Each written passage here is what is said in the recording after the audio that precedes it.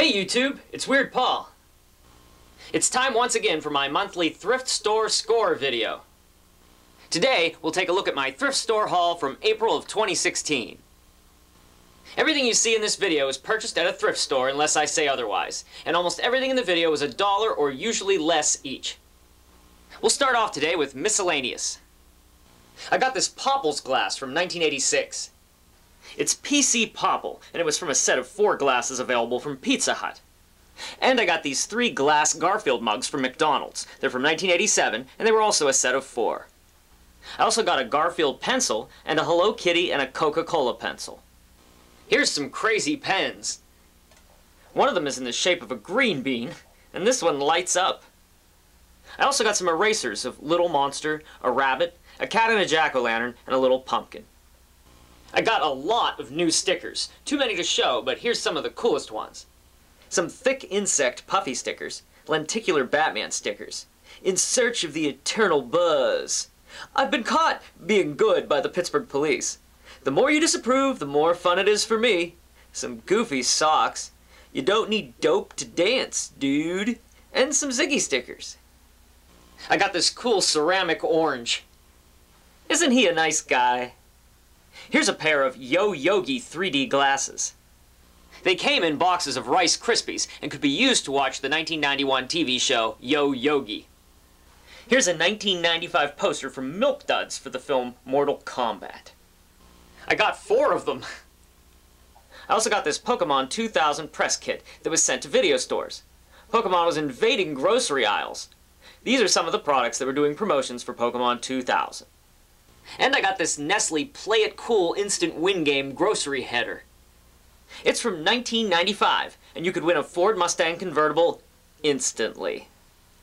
I also got a couple new ornaments for the 2016 holiday season. Here's some nightmare fuel for you.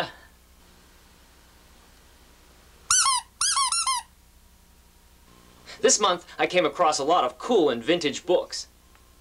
The 1984 hardback, The Care Bears Battle the Freeze Machine, and the Care Bears Help Santa. I'm sure Santa was thrilled. The Chipmunk story with no record in it, and E.T. as told by Gertie with no cassette in it. I also got the Happy Birthday Sheldon U.S. Acres book by Garfield's Jim Davis. I love this Mad book. Mad Cover to Cover is a collection of every cover of Mad magazine ever, and it only cost me 50 cents.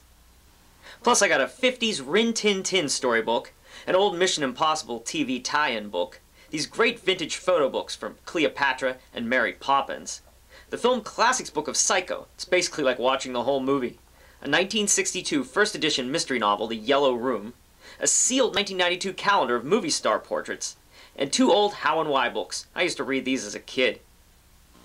Alright, let's check out my video scores. I got these VHS tapes for 25 cents or less each. The Mummy, Krull, Avenging Force, The Maltese Falcon, the scandalous sounding Her Life as a Man, and the Shoji Tabuchi Show Volume 1, starring everyone's favorite Japanese-American country music fiddler? Lady, you are wonderful. I think I scared you, didn't I? Here's another 10 tapes that I did not get at the thrift store. I got them at the flea market, 10 for a dollar. Warner clamshells of Firefox, Battle of the Bulge, Any Which Way You Can, and The Right Stuff. At the Earth's Core, Sinbad of the Seven Seas with Lou Ferrigno, a Ninja double feature, a sealed copy of The Moonlighting Pilot, 8 Million Ways to Die, and Night Friend. Looks like they just photoshopped Art Carney right into the movie. It was very unusual this month that I did not buy a single DVD.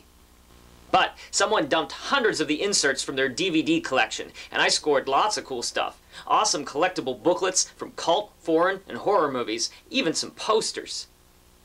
Let's move on now from video to audio. I got this old picture sleeve 45 by Crash Craddock and a couple more by Culture Club. I also got all of these LPs for just 33 cents each.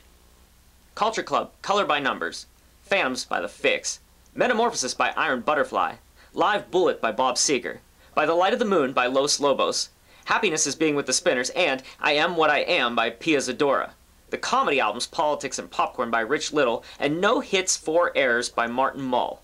Truckin' On and Keep On Truckin' are great compilations, and I got the holiday albums Someday at Christmas by Stevie Wonder and Rudolph the Red-Nosed Reindeer by Gene Autry. Plus plus the soundtracks from Cocktail and Honeysuckle Rose, and two Hoyt Axton albums, Road Songs and Snowblind Friend. Occasionally, I buy albums just for their cover art, whether it's amazing or hilarious. Here's an album called Disco Mania by Cafe Creme. This album, called Discotheque Number 1, isn't actually disco at all, it's mostly 60s Motown songs. Tamiko Jones is on hand to take you on a love trip, and the Ritchie family are part of the American generation. Denise McCann wins this month, though, with Tattoo Man. What was she thinking? I also got the CDs 40 Licks by the Rolling Stones, Kings of the Wild Frontier by Adam Ant, and What the Hell Happened to Me by Adam Sandler, plus the cassettes Heaven on Earth by Belinda Carlisle, Lita by Lita Ford, and Emo Philips live from the Hasty Pudding Theater. Okay, it's time to finish up today with toys and games. I got another VCR game. This 1990 America's Funniest Home Videos game is based on the TV show and features Bob Saget. The object of the game is to be the first person to reach the $100,000 goal at the end of the game board. Check this out. It's a 1970 Romper Room Scoopaloop game from Hasbro. It actually consists of two plastic scoops and a red ball. Show mommy and daddy how to play Romper Room Scoopaloop with you too. You'll all have a good time. Even better, the box still had this vintage Romper Room catalog in it. It's full of old toys that really bring back the memories. I also got a pack of playing cards that feature wonderful views of Bulgaria, a My Little Pony Applejack pony, and this little green plastic Snoopy charm that probably came out of a gumball machine. The last thing that I got was this grab bag of toys for $2.95. First I'll show you the things in it that I don't really care about too much. Flashcards, a Zhu Zhu pet, an empty box of puzzle cards, two crappy yo-yos, and a set of jacks. I do like this pack of World War II airplane spotter playing cards, and this brand new Duncan Butterfly yo-yo.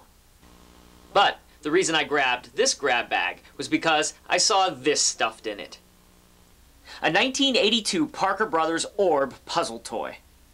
The orb was, of course, a Rubik's Cube type toy. It has a series of colored beads, and the two hemispheres of the orb rotate through 45 degree increments. Which means I'm never going to solve this. Even though I bought that $2.95 grab bag and all of those records, I still got everything that you saw in this video for about $25. I hope that you enjoyed seeing my April 2016 thrift store haul. If you did, don't forget to click on the like button down below. I'll see you soon with more memories. Thanks, YouTube.